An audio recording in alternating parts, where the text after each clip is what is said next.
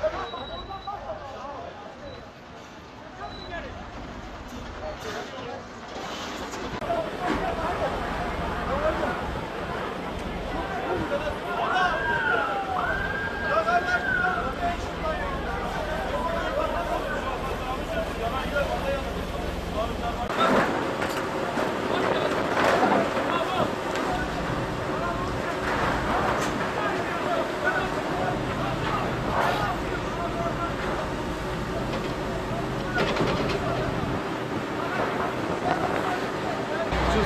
Tarafı önden kal.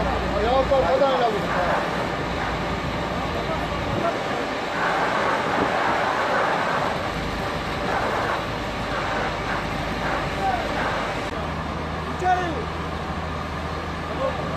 Abi abi buradan.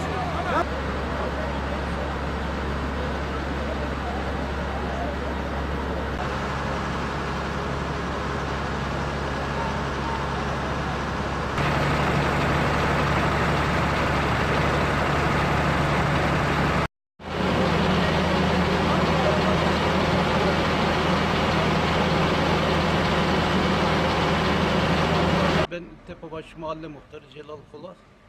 Mahallemizde iki gün önce yine bir kundaklama oldu. Dört ev bir akır yandı. Bugün yine bir kundaklama var. Ee, Bir akır bir evimiz zarar görmüştür. Çemişkilekler bu konuda duyarlılar. Herkes buradadır. Çemişkilekler bu oyuna gelmeyecekler. Herkese geçmiş olsun diyorum.